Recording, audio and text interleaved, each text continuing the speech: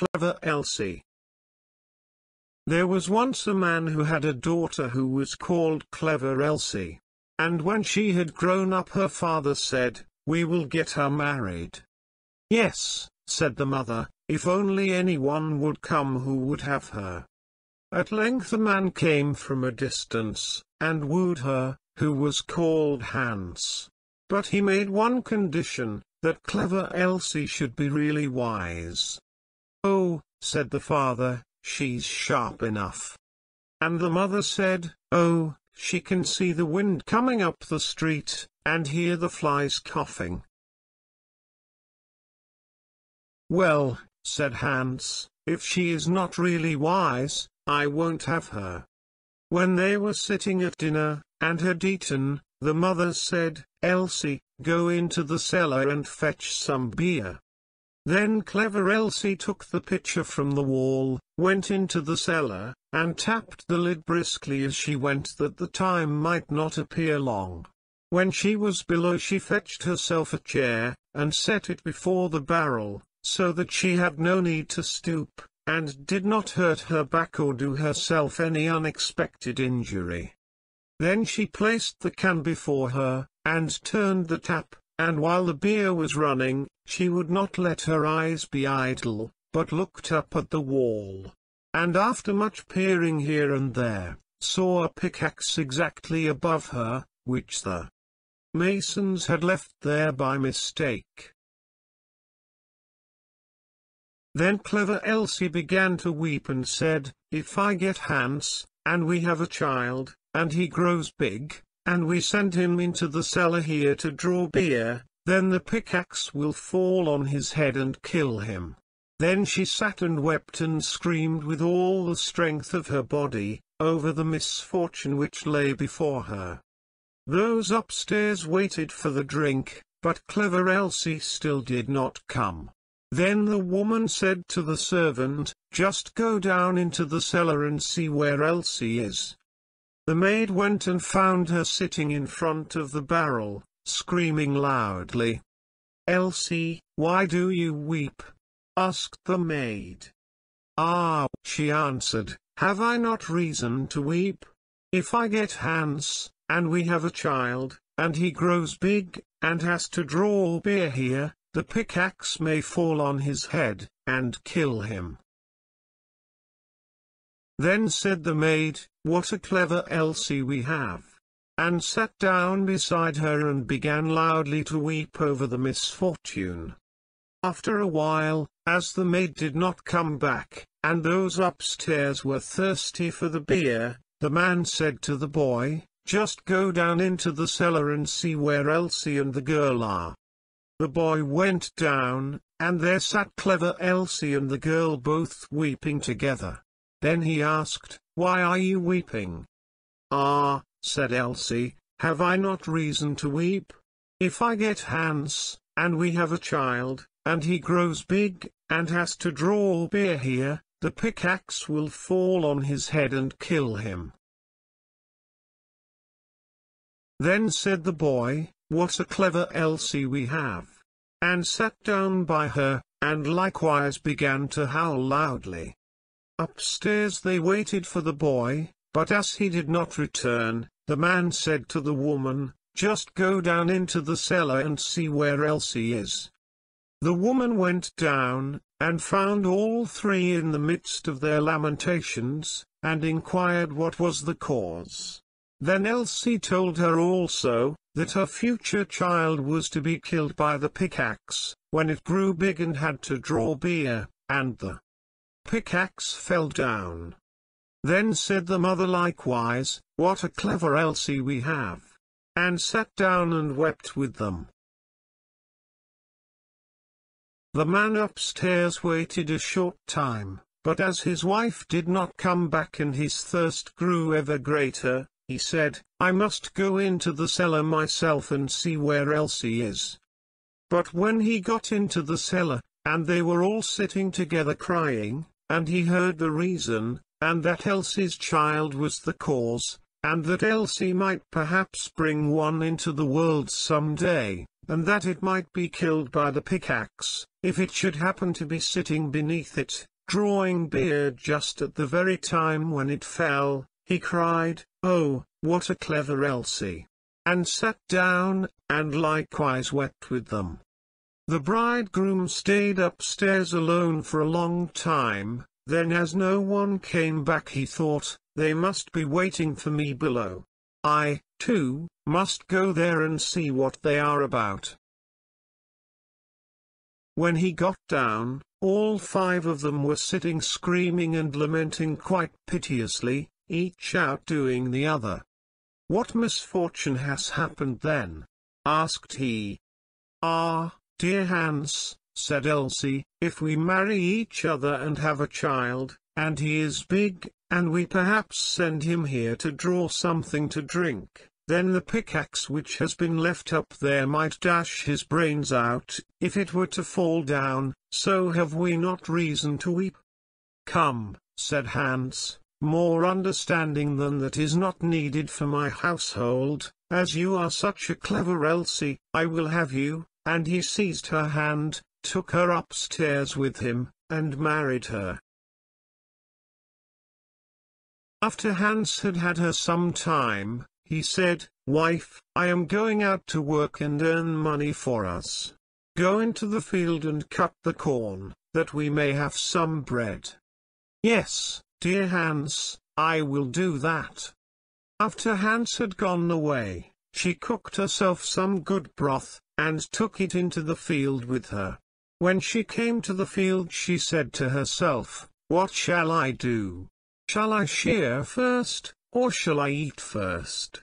Oh, I will eat first. Then she emptied her basin of broth, and when she was fully satisfied, she once more said, What shall I do? Shall I shear first, or shall I sleep first? I will sleep first. Then she lay down among the corn and fell asleep. Hans had been at home for a long time, but Elsie did not come. Then said he, What a clever Elsie I have. She is so industrious, that she does not even come home to eat. As, however, she still stayed away, and it was evening, Hans went out to see what she had cut. But nothing was cut, and she was lying among the corn, asleep. Then Hans hastened home and brought a fowler's net with little bells and hung it round about her, and she still went on sleeping. Then he ran home, shut the house door, and sat down in his chair and worked. At length, when it was quite dark, clever Elsie awoke and when she got up there was a jingling all round about her, and the bells rang at each step which she took. Then she was frightened, and became uncertain whether she really was clever. Elsie or not, and said, Is it I, or is it not I? But she knew not what answer to make to this, and stood for a time in doubt. At length she thought, I will go home and ask if it be I, or if it be not I they will be sure to know. She ran to the door of her own house, but it was shut. Then she knocked at the window and cried, Hans, is Elsie within? Yes, answered Hans, she is within. Hereupon she was terrified, and said, Ah, heavens! Then it is not I, and went to another door. But when the people heard the jingling of the bells, they would not open it, and she could get in nowhere. Then she ran out of the village, and no one has seen her since. Clever Elsie There was once a man who had a daughter who was called Clever Elsie. And when she had grown up her father said, We will get her married. Yes, said the mother, if only anyone would come who would have her. At length a man came from a distance, and wooed her, who was called Hans. But he made one condition, that clever Elsie should be really wise. Oh, said the father, she's sharp enough. And the mother said, oh, she can see the wind coming up the street, and hear the flies coughing. Well, said Hans, if she is not really wise, I won't have her. When they were sitting at dinner, and had eaten, the mother said, Elsie, go into the cellar and fetch some beer. Then clever Elsie took the pitcher from the wall, went into the cellar, and tapped the lid briskly as she went that the time might not appear long. When she was below she fetched herself a chair, and set it before the barrel, so that she had no need to stoop, and did not hurt her back or do herself any unexpected injury. Then she placed the can before her, and turned the tap, and while the beer was running, she would not let her eyes be idle, but looked up at the wall.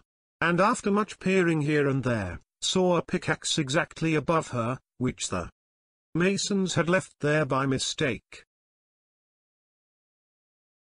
Then clever Elsie began to weep and said, If I get Hans, and we have a child, and he grows big, and we send him into the cellar here to draw beer, then the pickaxe will fall on his head and kill him.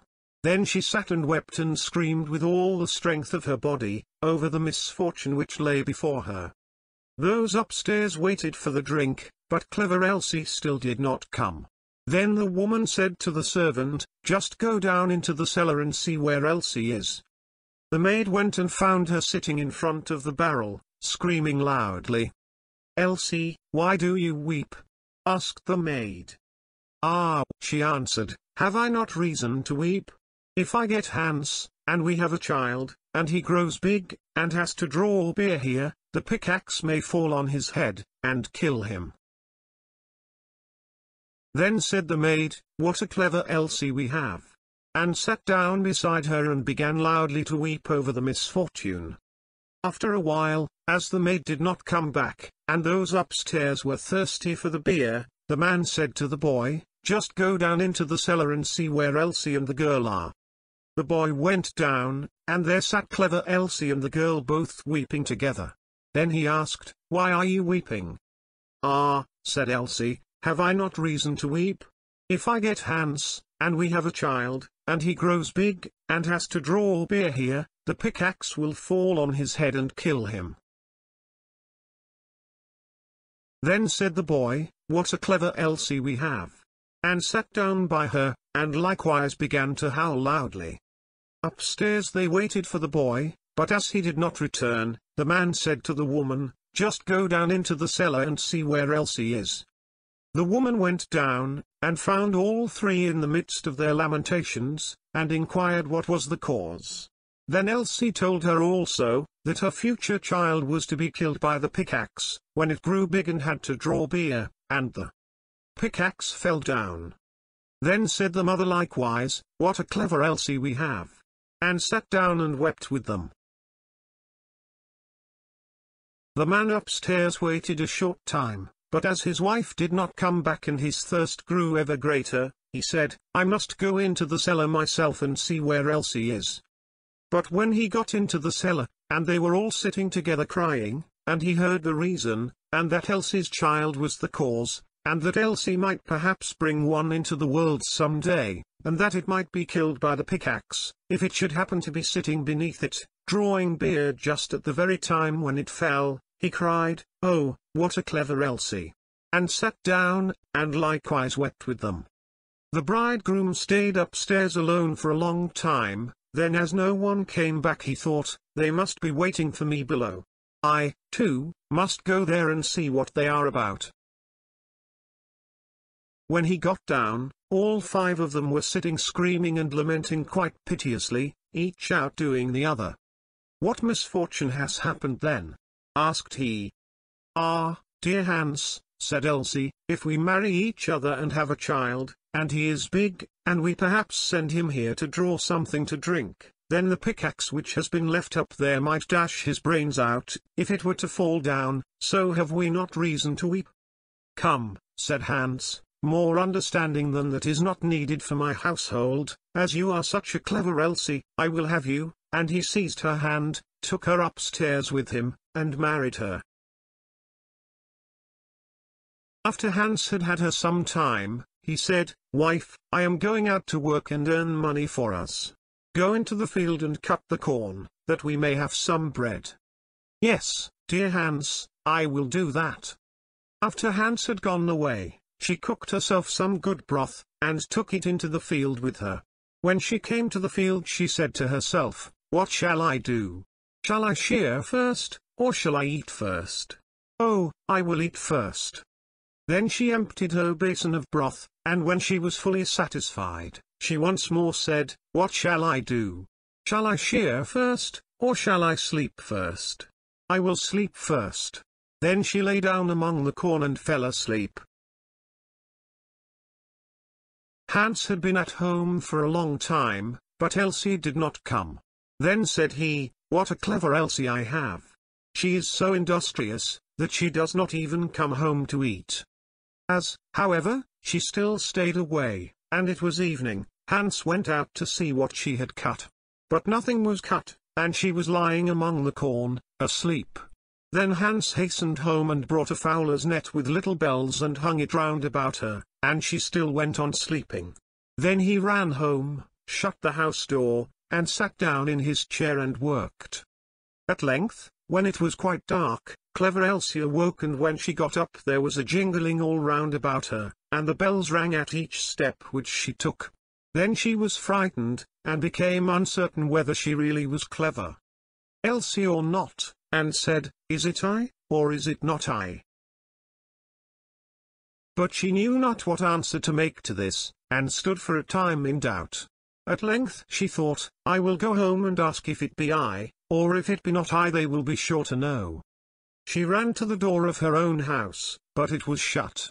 Then she knocked at the window and cried, Hans, is Elsie within? Yes, answered Hans, she is within. Hereupon she was terrified, and said, Ah, heavens! Then it is not I, and went to another door. But when the people heard the jingling of the bells, they would not open it, and she could get in nowhere. Then she ran out of the village, and no one has seen her since.